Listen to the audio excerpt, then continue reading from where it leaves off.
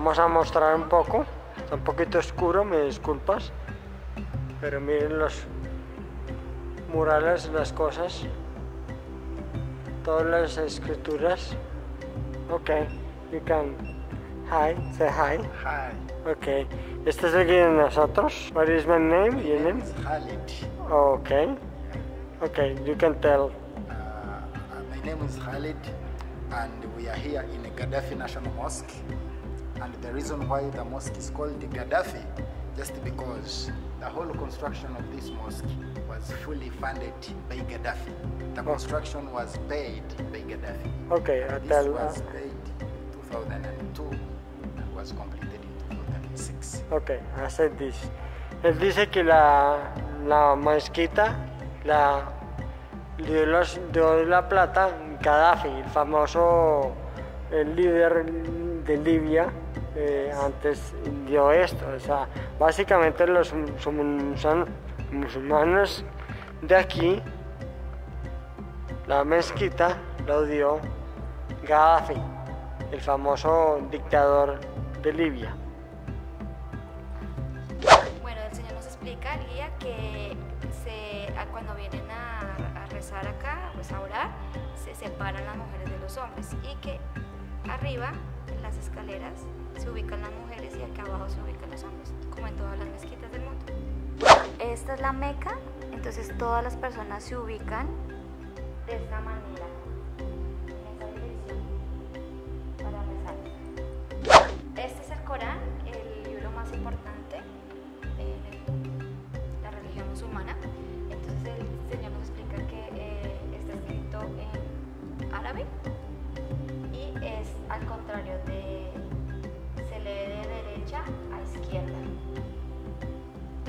Bueno, entramos aquí a la minarete y pues básicamente minarete es para llamar a rezar a la gente. Se suben hasta allá y llaman con un megáfono a la gente para rezar. Pero aquí no, no hacen eso, acá no van hasta allá y, y con el megáfono llaman a rezar, sí, no lo hacen de otra forma. Salen allá, abajo con un megáfono y pues llaman a rezar.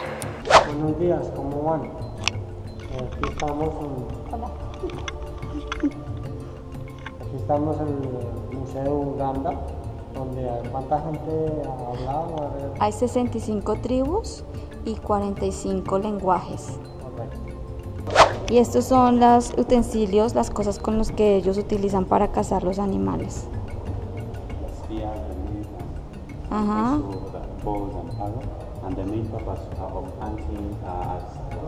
over there we are seeing some of the animals that were hunted, and the main purpose of hunting was for meat, then uh, the, the horns, and also the skin of the animal. They would use them. Ok, ellos obviamente usaban todas las cosas de los animales, también para vestirse y pues para comer también.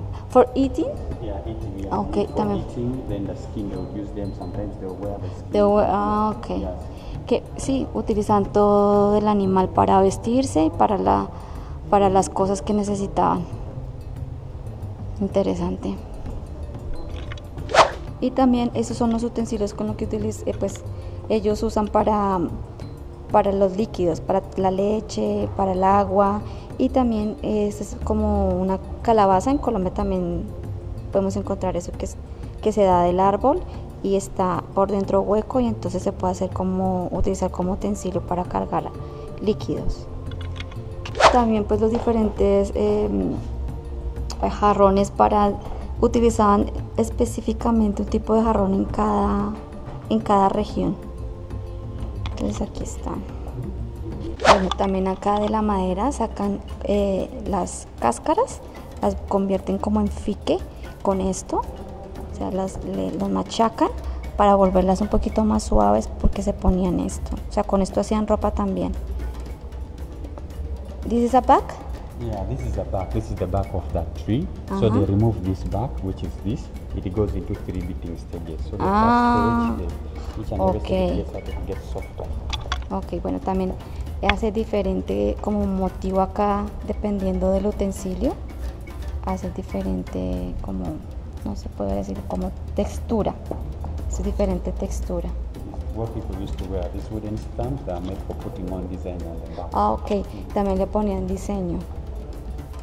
Se alcanzan a ver como un diseño también con estos utensilios. También con cosas de la vaca, estas son cosas de cuero. Hacían, esto es para cargar los bebés y estos son sandalias y ropa, sandalias, hacían con la con el cuero, cuero de la vaca. Nos encontramos donde los, los como las herramientas para pescar. Entonces, pero son con hechas como con canastos, miren. Estas son las almohadas. Y este es el tapete, así dormían. Los tiran, lo extienden y estas son, ponen la cabeza acá. Entonces aquí en Uganda son ese tipo de pescados que hay en el río eh, Victoria, que como dijimos ayer es un lago de tres eh, países pasa, es muy grande. ¿Tilapia es de famous? Yeah, it's the famous. Y la tilapia es... Ayer comimos tilapia muy rica. Bueno, aquí en Uganda tenemos más de 5.000 especies de pájaros, estos son unos de ellos.